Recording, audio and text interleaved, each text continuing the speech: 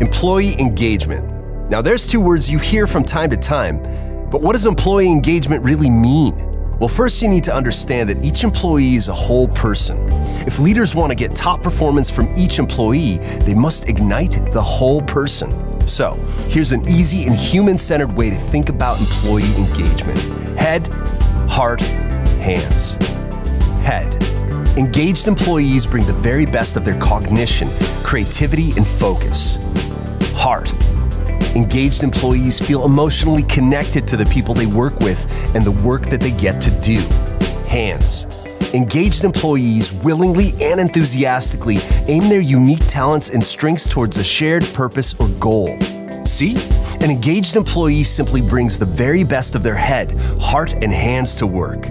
Employee engagement is way more than just some trendy catchphrase. Employee engagement can be every leader's secret weapon when it comes to increasing performance, profits, and morale. It's also proven to reduce attrition, absenteeism, and safety violations. All these things can have a huge impact on your bottom line and employee well being. So there you have it.